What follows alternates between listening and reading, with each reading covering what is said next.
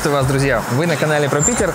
Сегодня мы вам покажем еще одну интересную квартиру, которая находится в центре. Прошлая квартира, которую мы снимали, она находилась рядом со станцией метро Чернышевская. И я видел комментарий, Юрий так тоже сказал, что это центр. Так вот, Теперь будет действительно самый-самый центр. В центре просто некуда. И после э, того, как вы посмотрите этот выпуск, напишите, пожалуйста, где вам кажется лучше жить. Там, где было до этого, рядом со станцией метро Чернышевской и Таврическим садом, или здесь, на самом Невском. Есть некоторые любители жить вот буквально таки на Невском. Точный адрес объекта Невский 108Б. Это двухэтажный дом, построен он в 1823 году. Александр I находится в путешествии по Европе. Александр Пушкин начал свою поэму «Евгений Онегин». И на Невском проспекте построили этот дом. Пойдемте поближе, посмотрим, что это из себя представляет. И поговорим о квартире, о планировке, о тех особенностях, которые есть в старом фонде. Прошу вас.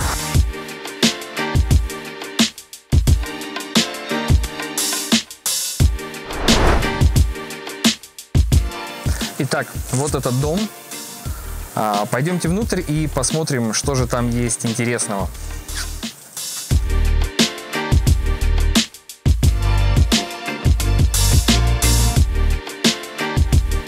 Этот трехэтажный дом XIX века принадлежал семье купца Гусева.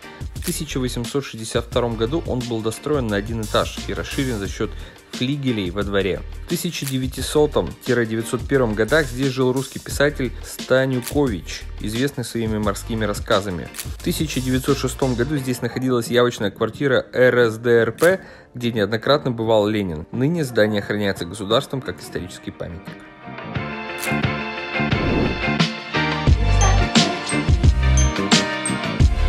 Итак, пойдемте посмотрим квартиру.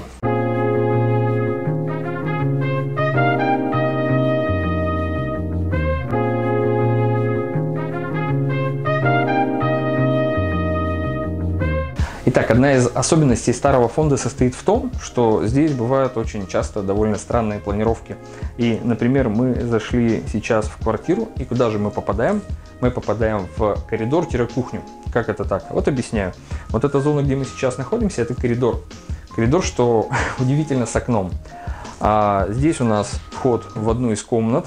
И если мы пойдем налево, то мы попадаем в кухонную зону. Вот смотрите, здесь стоит столешница, и планировку мы вам прикрепим по вашим многочисленным просьбам для того, чтобы было более понятно, как это вообще все сорганизовано.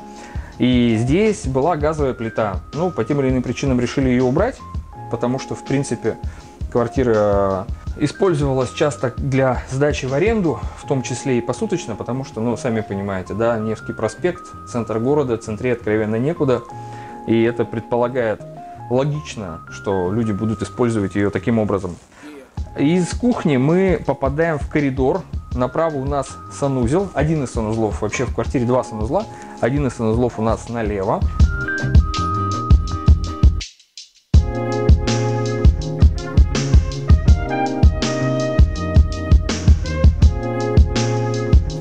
А, направо у нас коридор. Так как в квартире была сделана перепланировка, изначально одна из комнат, она была проходная. Для того, чтобы все комнаты можно было заизолировать, сделали таким образом, что вот коридор, который был здесь всегда, его немножечко продлили. И сделали комнаты изолированные, для того, чтобы не терять одну из комнат э, в качестве изолированной. То есть получается здесь у нас э, всего трехкомнатная квартира, вот одна из комнат.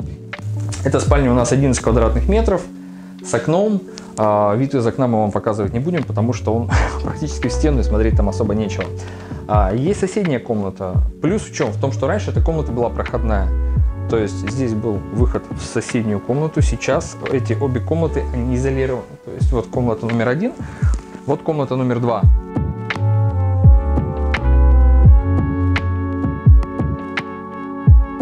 Которая побольше, которая с двумя окнами, которая выходит у нас, получается, во двор. В принципе, здесь более или менее. Также у нас еще есть одна комната со своим отдельным санузлом. Пойдемте мы ее посмотрим. Это самая интересная из комнат в этой квартире. Я объясню, в чем ее интересность. Изначально она была больше, она была 17,8, но сюда поставили второй санузел как я уже и говорил, да, то, что расположение квартиры предполагает все-таки, скорее всего, ее некоторое коммерческое использование, потому что жить в таком месте, да, конечно, было бы очень приятно, но, наверное, только для людей, которые периодически посещают столицу, и им было бы приятно иметь такую недвижимость в собственности. А так, конечно, ее очень логично сдавать. Итак, друзья, в заключение этого ролика я хотел бы поговорить о том, какие вопросы у вас могут возникнуть и сразу на них ответить. Итак, смотрите, что интересно. В парадной всего три квартиры. Всего три квартиры и как типичная питерская фигня, когда номера, ну не по порядку. Это раз. Во-вторых, а, хотел отметить вот а, типично свои ощущения, потому что тоже вы говорите, что Юра меньше воды. Вот сначала была информация, сейчас будет вода некоторое количество воды. Кому интересно, оставайтесь, кому не интересно, можете переключаться на следующий ролик. Так вот, а, что интересно, здесь буквально, не знаю, в 100 метрах шумит Невский проспект, а здесь тихо и спокойно. Это, на мой взгляд, довольно интересное ощущение, что ты живешь в самом, в самом центре, но при этом вот такой у тебя тихий и спокойный двор, который вы можете видеть за моей спиной. А, по поводу самого дома. А, дом довольно старый, э, ну и понятно, да? Но э, капремонт у него был в 1967 году. И здесь э, перекрытие, получается, металл и железобетон. То есть делали его действительно очень и очень достойно.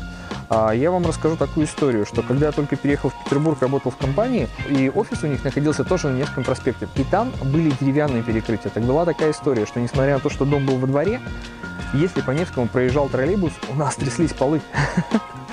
И вот я думаю, что мы вам снимем еще совместный ролик с местными строителями, которые расскажут, покажут про старый фонд. И мы этот вопрос еще затронем, да, но все-таки в этой квартире при желании сделать какой-нибудь индивидуальный ремонт можно, и он не будет рассыпаться. Хотя, в принципе, для той скажем, функций, которые предназначена эта квартира, то, что сейчас есть, это уже достаточно. Что ж, спасибо вам, друзья, подписывайтесь на канал, ставьте лайк, если вам интересно, если не интересно, пишите, о чем вы хотели бы поговорить, мы постараемся осветить эти темы. До свидания.